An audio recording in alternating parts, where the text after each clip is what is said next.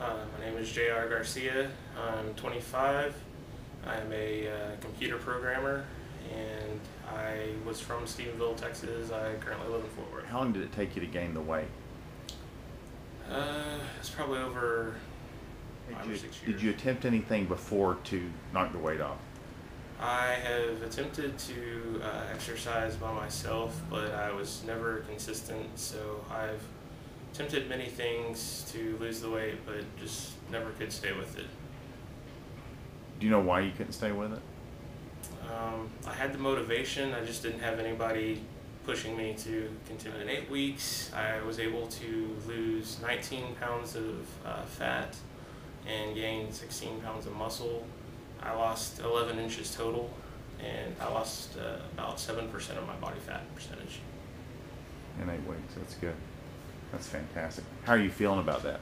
Uh, I feel great. I went from struggling to work out uh, three times a week to now I work out every day and sometimes twice a day on my own just because I like the way I feel afterwards. Uh, it benefits me from being able to sleep at night. I sleep a regular six to eight hours of sleep versus waking up in the middle of the night all the time, not being able to sleep continually. Um, I'm also more energetic and more awake during the day. I'm more alert uh, throughout the course of work and uh, throughout the day. I don't get lazy. I don't get tired. Um, I don't take a nap as soon as I get home. I'm uh, very energetic and I continue to work throughout the day instead of you know passing out at work. Yeah. Well, uh, I know several people that think personal trainers are more of a, a girls thing and that you know guys just need to go in and lift weights and do heavy stuff and I've done that and it, it doesn't work.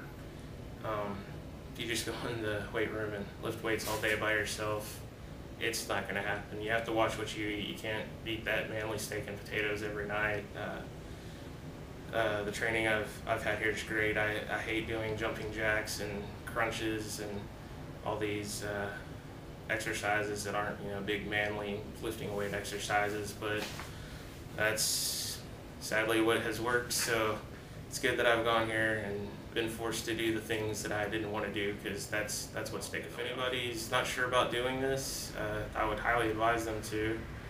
Um, I, I've never felt better in doing this, and I will continue to do this for a while because it, it's worked, and it's the only thing I've tried that's worked. So I'll continue to be doing this.